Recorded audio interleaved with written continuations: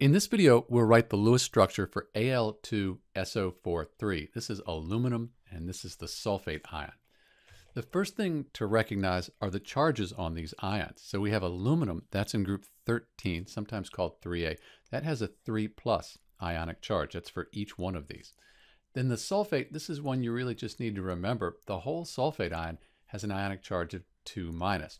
And we have three of them. So three sulfate ions, each one has a charge of 2 minus. So I have this image here from PubChem. This is from the National Institutes of Health here in the US. And it shows the two aluminum ions, each one is 3 plus, and then it shows the sulfate ions, 1, 2, 3, and you can see they each have two negative charges.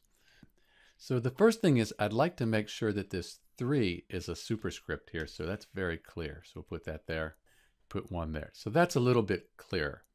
Often you'll see these sulfate groups with brackets around them and then the 2 minus charge out here. In this case, they put the minus charge and it's going to be on the oxygen with the single bond. These are the formal charges and they do add up to the charge on the whole ion. So you might see it something like this here where you have brackets with the Lewis structure and the negative charge there. This works as well.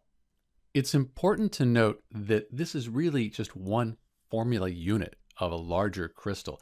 So when we draw this Lewis structure, we're just trying to represent one of the repeating pieces of a larger crystal.